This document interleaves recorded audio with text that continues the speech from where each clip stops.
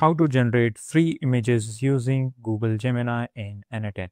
Hey everyone, in this video, I'm going to show you how you can create these kind of images into your n8n for free. So earlier we used to pay uh, like chat to ChatGPT Pro, Midjourney or DALL-E, but now with the Gemini's powerful API and n8n automation, you can do it all for free.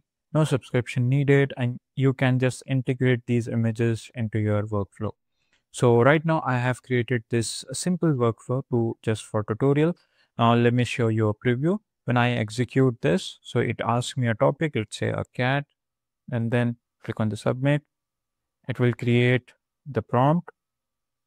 For that, let me just, uh, okay, I have to drag this output into prompt section. So let me execute it again. Now you will see the image of this prompt. So just let's see. Now, as you can see, this is not cat, but you can refine your prompt in your AI agent and you can generate the image. So let's get started and how you uh, let's show let show you how you can set up all of this uh, from scratch. So first thing first, let me just say uh, remove all of this now, first, what you have to do is search for AI, uh, Google's AI Studio. From there, we will copy the API key. Before that, we will set up our uh, automation. First, we will add the submit node, submit node, and I will choose as a trigger so from here, what you have to enter is uh, like title and the description. I will add a title, give me a topic.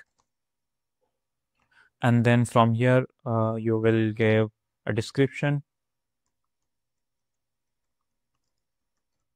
And then from here, you have to add element.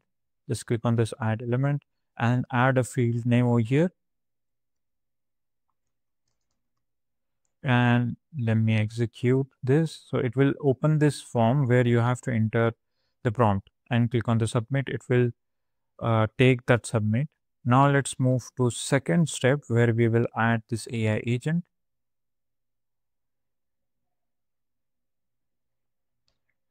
And in that AI agent, what you have to do is you have to just simply change the source for prompt to define below now over here, you have to uh, give a prompt. So I will generate a prompt. So write a prompt for AI agent in n8n system prompt for image generation. Now hit the enter button and wait for a few seconds to generate the prompt. Uh, what you have to do next is just copy this prompt and go back to your n8n workflow and paste this prompt to this user message.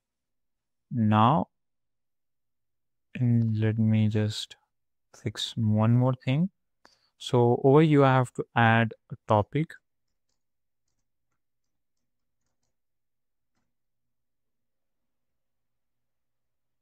Or you can say uh, image generation topic. So when you execute this note again, you have to execute it. Uh, let me just execute. Okay, there is an error. We have to add chat model over here.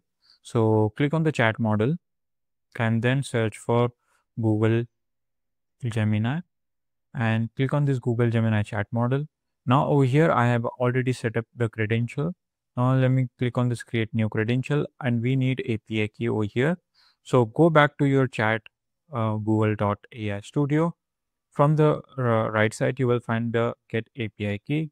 Click on it. And from there, you have to go to create an API key. Click on it. Now you will have to add a, a search Google Cloud project. Let me just change the account. Now, okay, I'm fine. Now over here, I have created a lot of Cloud project. So if you want to create, just go into Google console.cloud. Over there, you have to create a new project.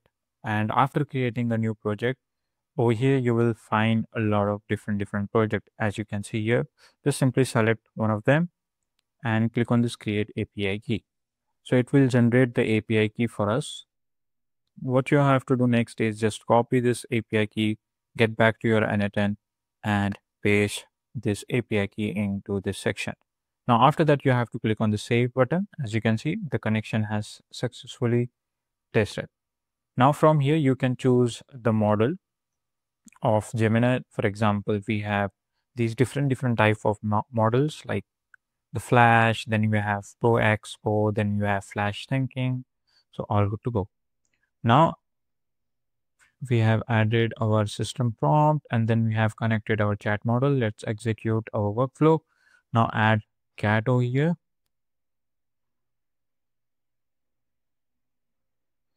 Let's get back. As you can see, it is generating. I'm ready to please provide me an image, topic or concept. So, okay, we need image topic. So as you can see, we have this topic. So I'll just go to Sigma and the just drag that form node or you can say add here into our system prompt.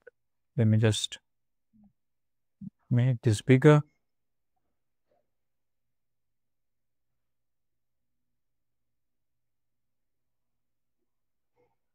So just,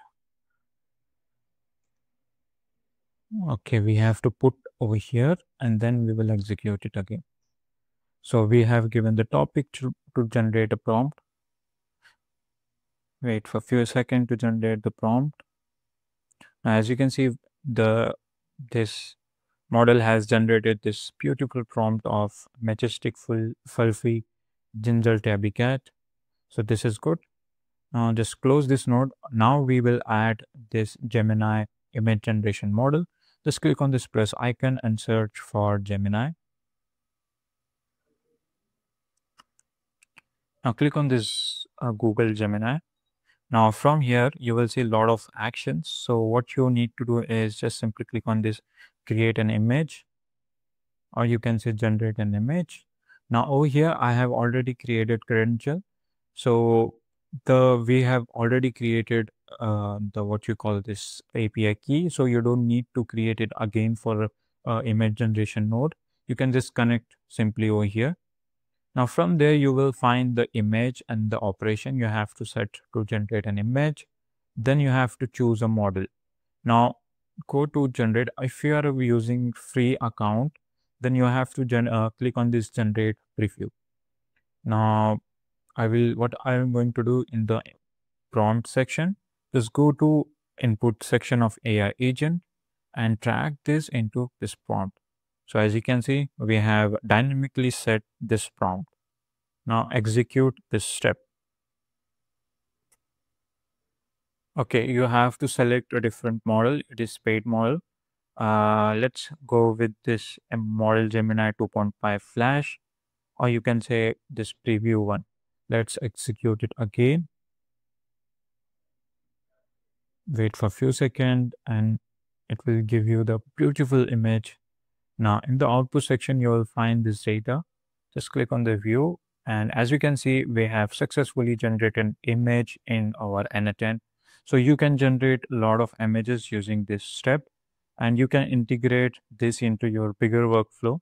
Like let's say if you are creating a social media automation, you can just integrate this free image generation into your workflow for the testing purposes. So yeah, that's it for today's video. You can, if you found this video helpful, then subscribe to our channel and thanks for watching.